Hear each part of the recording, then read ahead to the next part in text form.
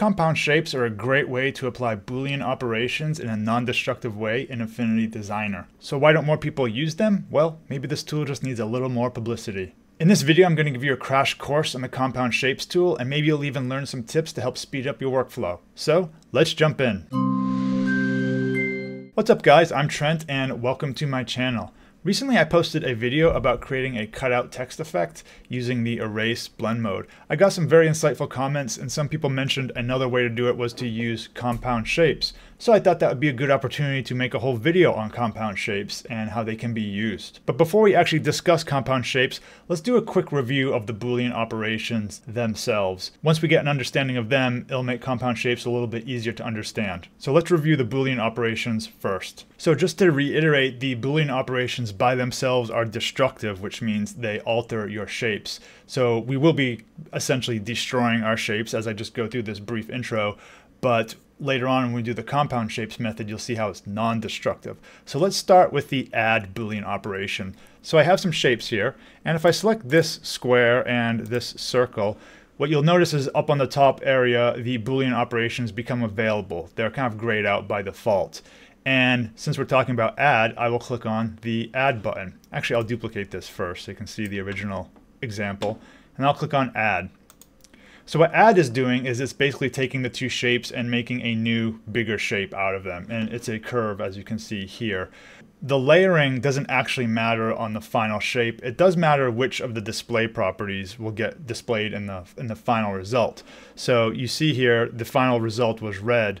Below, I have another example. It's the same thing except the blue circle is in the back. So let's see what happens if I select these and do the add operation now you can see they turn blue. So when you do the add operation, the shape that's on the lowest layer in your stack is going to influence the final look. But the overall shape isn't going to look any different. You know, this is the same as addition with numbers. You know, a plus b is the same as b plus a. That's why they look the same here. So add is pretty straightforward. Let's move on to subtract. What subtract is going to do is it's going to cut out the shape in front from the shape behind it. So I'll give you an example here again, we have our square and circle.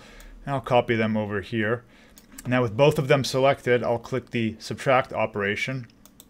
And you can see that the circle was cut out of the square.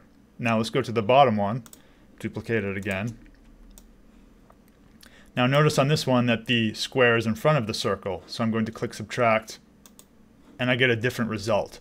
So unlike add, the order of the layers in subtract matters a lot more the layer that's higher in the stack is going to be subtracted from the layer that's below it. And like I said, add is basically a plus b.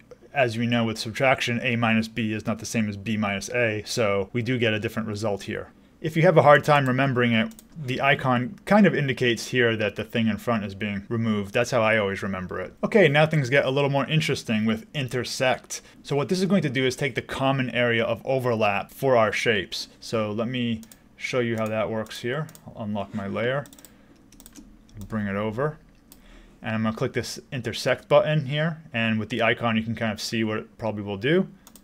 And we get this common shape that is representative of where the two shapes are overlapping. And I'll do the bottom one.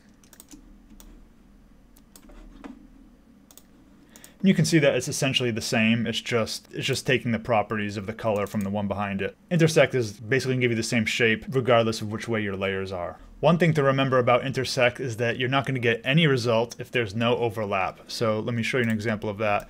Let's say I have these two shapes and I want to say what is the intersection of this red square and this blue circle. So if I click intersect, you actually get no result. So if you're ever trying to intersect things and there's no result, that could be the reason why. Let's look at that example one more time because with two shapes, it's very obvious when things aren't intersecting. But if I put in a third shape, let's see what intersect gives me with these three things. I'll click it again and there's nothing. So if you have some stray shape that's not intersecting anything in all the shapes you have selected, you're going to get an empty result. So that could be a reason why you're not seeing what you're expecting. So if you're intersecting shapes, make sure all your independent parts are somehow overlapping somewhere. Next we have XOR or exclusive OR and what this is going to do is on a superficial level it's going to take the areas that don't overlap.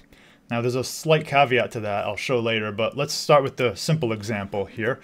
I'll select my two shapes after I unlock the layer. And as I do, let's copy them over. So these, this fourth one is XOR. So I'll click it.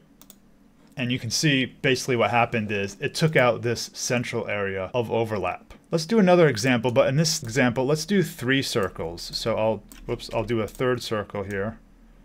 Let's make it green just so it shows up a little bit. And I'll actually adjust the transparency. It won't affect it, but it'll just give you a better view of like what's happening. So you can see these different areas of overlap, okay? So let's do XOR on all of this. And if you want, you can think about what the result may be. So we have this kind of triangle area in the middle that has multiple overlaps from our circles. So let's do the XOR and see what happens.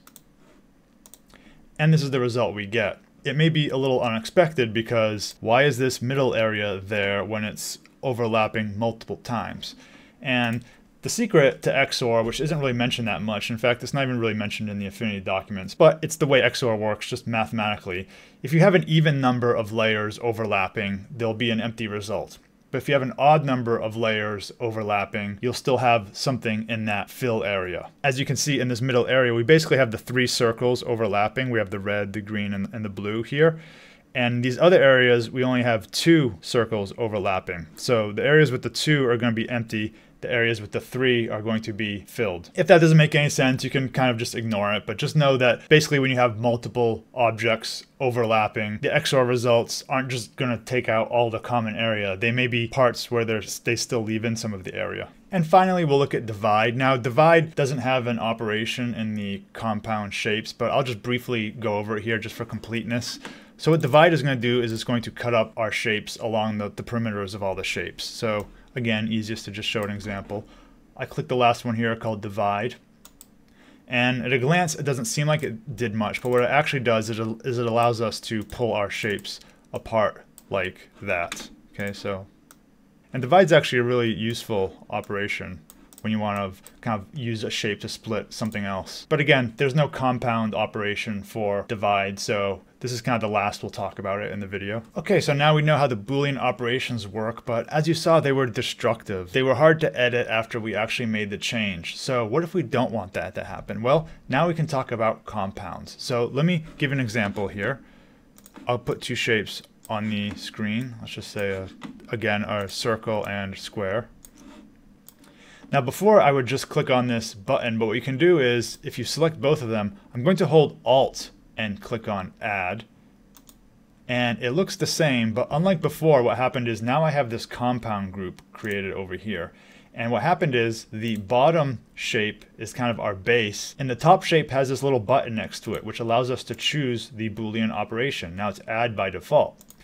Now so far it looks the same, but the nice thing about this tool is that I can actually move my shape around and it will still preserve the, the shapes themselves. So I still have this ellipse. I can change the way the ellipse is. I can resize it. And it's totally non-destructive. It gets a little more meaningful when you add more stuff to your compound shape. For example, if I had a triangle, now it's outside of my compound group, I could actually drag it in.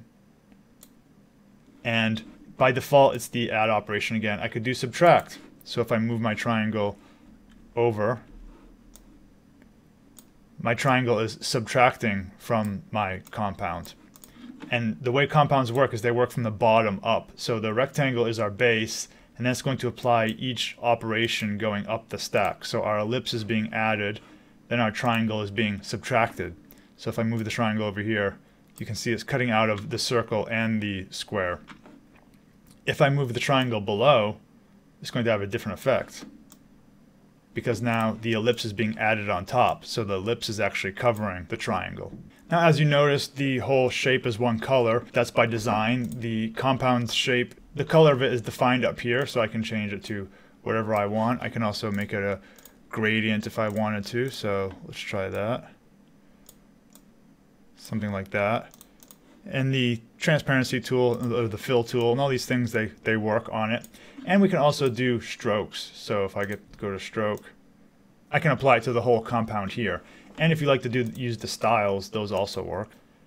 And as I go through this is all fully editable. If again if I move my triangle around it's still going to cut out non-destructively Now one of the coolest things about compounds is they work with text too. So here I have another box and let's put some text here.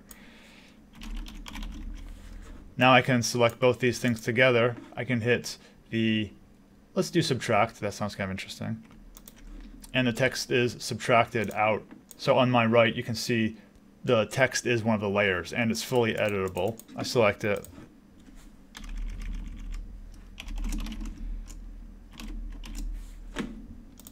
and I can resize it. Now I think one of the coolest effects here is actually XOR. So let me change the setting to XOR. Now when XOR is in the middle of something, it looks the same, but when we take it out, it looks kind of interesting, I think. So this is the XOR effect happening.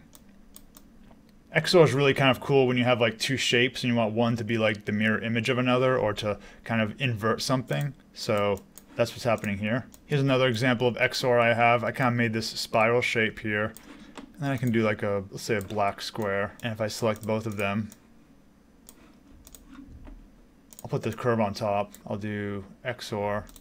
And if I make this curve bigger, you, know, you can see it has like it's kind of like opposite colors as it goes out. So there's lots of effects like that you can create. And finally, something you can do is make compounds of compounds themselves. So let's do something here like this. Let's get a little more color going. And I have a square. Let's put some type of star in the middle. And I'll subtract it. Whoops.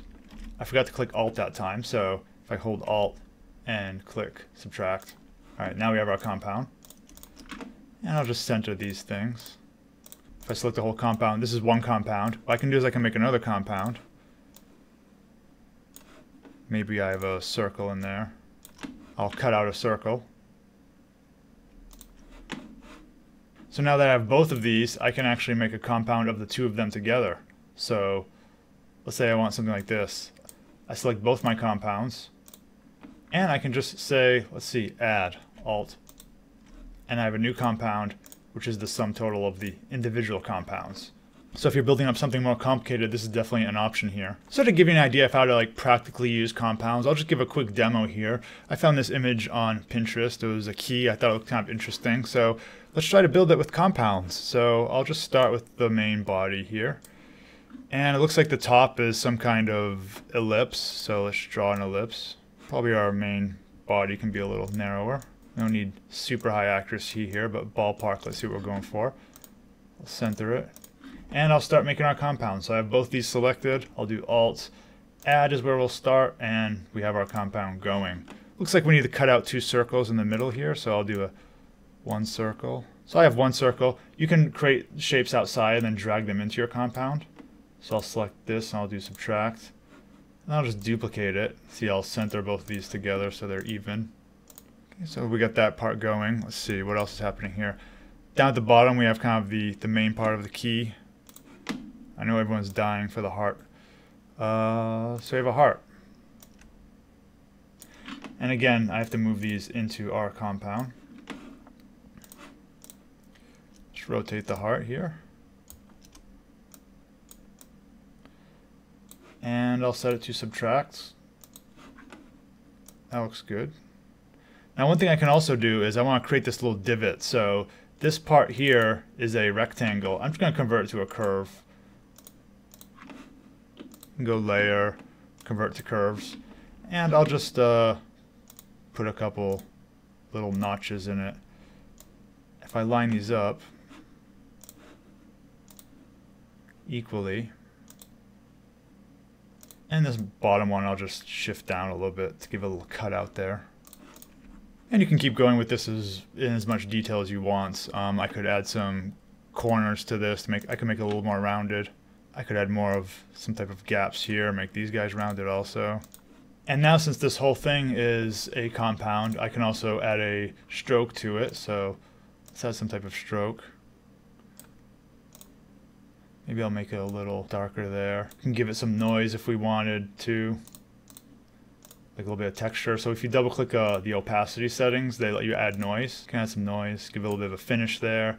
You can add a slight gradient even if we want. Maybe this could be that, but slightly different. And you can add things like drop shadows to this whole uh, compound path. So I'll say outer shadow. You can see there's a shadow there. So really it's just about how much details you want to keep going and adding. And if you want to add more details, you could do so. Like if you want to cut out additional things, or if you want to like put stuff on top of it and just have this be your basic shape below. But this kind of gives you a quick example of how to create something using compounds. So that's an overview of compounds. If you find yourself using Boolean operations in a destructive way, maybe compounds are something you want to consider to help preserve your work and make it easier to make changes later on. If you have any questions about this feature, feel free to leave a comment below and I'll see you in the next video.